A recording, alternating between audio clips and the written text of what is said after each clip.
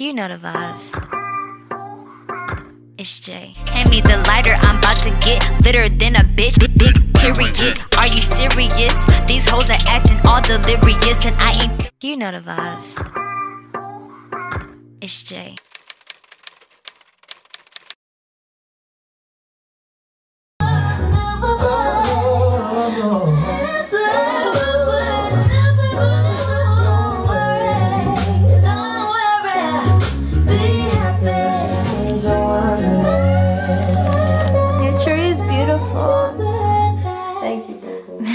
It's pretty.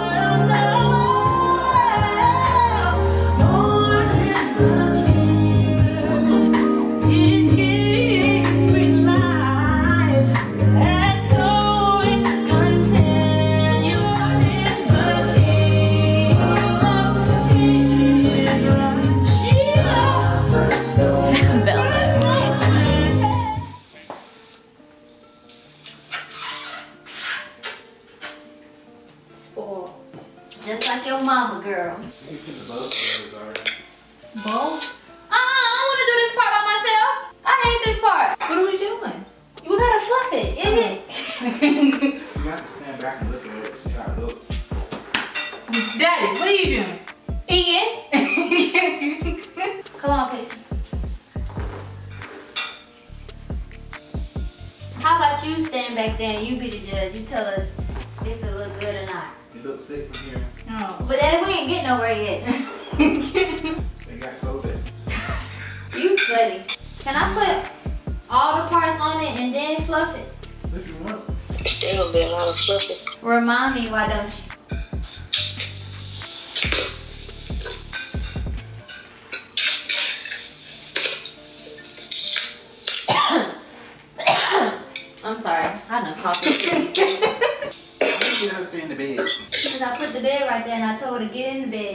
To listen to me. I hope she listen to me. She don't listen to me no other day. She probably know I'm recording. She wanna be on camera. You know she bougie. I bet. Daddy, I don't feel like this tree need to be fluffed like that. Ain't nothing wrong with having a little, a little sickness going on. we in there like swimwear, you know what I'm talking about? Boom, there go the tree. Uh-uh. Oh yeah, Sir. it's leaning, but it's okay.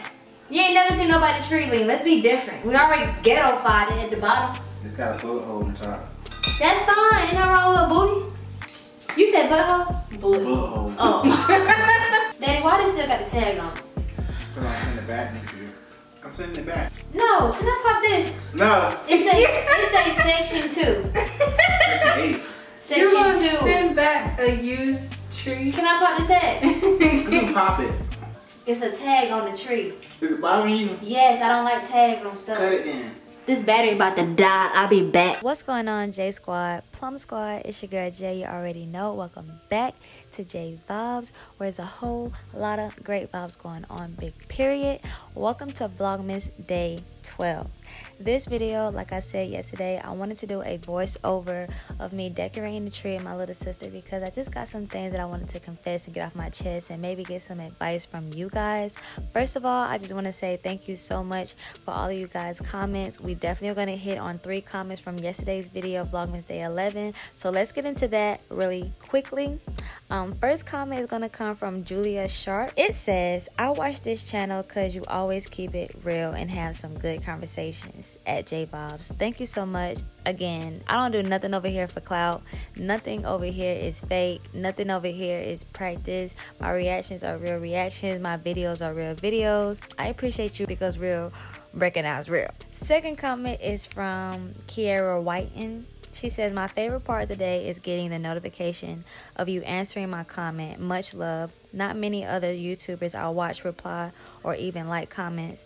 Made me look forward to commenting, especially since you're posting every day for Vlogmas. More reactions like this, but would love to hear some of your story times too. I definitely have a few story times that I want to tell you guys. Something that nobody knows, and then something that some people know, but I'm not sure if I did a story time on it. But hey, this is only day 12. We got 31 days in this month. So definitely look forward to giving you story times. And last comment is from Brenda Shadley. Shadley or is it Shayley? you said, I laugh every time you're sucking on that hookah, J. Oh my God. I don't know why, because it sounds like you're ripping off a bong. Like, what in the world? And then you was like, da da da. Oh no, no. You both be very, very secure in your relationship and not be jelly bellies. I never heard that in my life. It will get ugly. My ex bugged and bugged me to do it. She must be talking about the threesome or the orgy. So her ex bugged her to do it, and then she said um, because she knew that I have and she wanted it. And I said, fuck it, fine, OMG. She was so fucking jealous. I flew my ass back home the next day. I was dealing with her nonsense. She got over it fast. Okay, yeah, I just feel like as soon as you start to see red flags in your relationship or even if you're talking to somebody, I feel like you need to communicate. And if that person is not willing to communicate, then that needs to be a sign for you. I ain't saying like just give up because I'm not a person that just gives up on anything, but you matter and how you feel matter. And if you say no, then it's no. And if someone keeps trying to pressure you, especially in your relationship, your partner keeps pressuring you to do something that you don't want to do, like don't do it because nine times out of ten, look, she talking about it's her ex, so they're not even together no more. So it's kind of like she didn't even have to put herself through that again because she already said that she did it before, but she didn't have to do that again just to please the other partner. Like some things just don't have to happen. But anywho, that's the end of that, you guys. Um, getting back to what the remainder of this video will be about and what I want to confess and just talk about. Um, before I do get into this, please make sure you are subscribed to my channel, you guys. Please make sure you give this video a like, a thumbs up. Same thing, ain't no difference. Comment down below, share this video. Let's get into it. So, what I wanted to communicate with you guys about, um, I know in some previous videos I briefly talked about me having a ex best friend, meaning I used to have a best friend, but she's no longer my best friend and we were literally best friends in high school. And we stopped being friends after like my first semester in college. So i'm not gonna lie. She's been on my mind here and there. I still remember her birthday. And she recently like two years ago so i graduated in 20, 2012 we stopped being friends like early 2013 but two years ago, she found herself commenting on certain things on my Instagram and was kind of sort of reaching out, but just like not reaching out, like, hey, we should meet, reaching out, but just like general conversation. So, um, she now has two kids, and when back then, of course, she didn't have no kids, but she now has two kids, and it's crazy because when we used to be in high school, I used to say, I want to be your kid's godmother. So, of course, that's out the window now. But I found myself reaching out to her um, a few days ago and asked her to text me. And I actually invited her to have lunch with me someday out of the week. Of course, we had to put our schedules together because she work, I work. It's not a rush though. But um I don't hold no type of grudge. I just maybe want closure or maybe I want to maybe I want to rebuild our friendship because I really love that girl like I did any and everything for that girl. She and her mom let me live with them for like the rest of my senior year because I wasn't staying with my dad and I moved out from staying with my uncle and that girl got her ass beat for me. Some girl tried to jump me. She jumped. She was the only person in the party that tried to help me fight, and I literally knew everyone in the room. And I really had a soft spot for her. So, um, I'm looking forward to sitting down and having lunch with her, and just seeing who she's grown to be, this woman she's grown to be, especially now that she has kids. Because OMG, like I knew she would have kids, but shit, she got kids. Um, her firstborn was a girl, her second child was a, a, a little boy. So I wanted to share this with you guys because I like.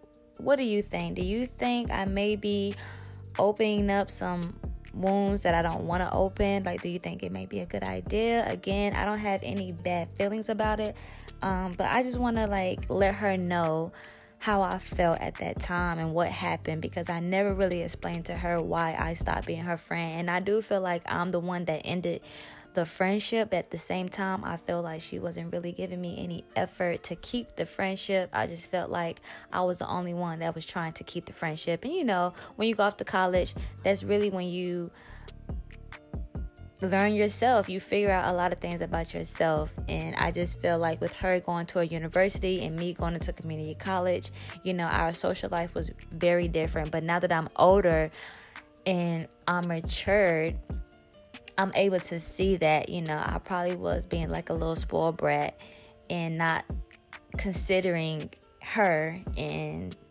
a lot of things I wasn't considering. But I definitely want to sit down with her. I would love to have her as my best friend one day. I'm not going to say soon, but one day. Um, because with all of that time that has went by, I've gone through a lot. Um, definitely have lost trust and learn how to not trust so fast and just a lot of just life lessons that I've learned. So I am looking forward to sitting down with her. It's probably going to happen sometime after the new year, so definitely look forward to a updated video on how that sit down went. Um and yeah, you guys, I just wanted to share that because again, someone out there may be able to relate.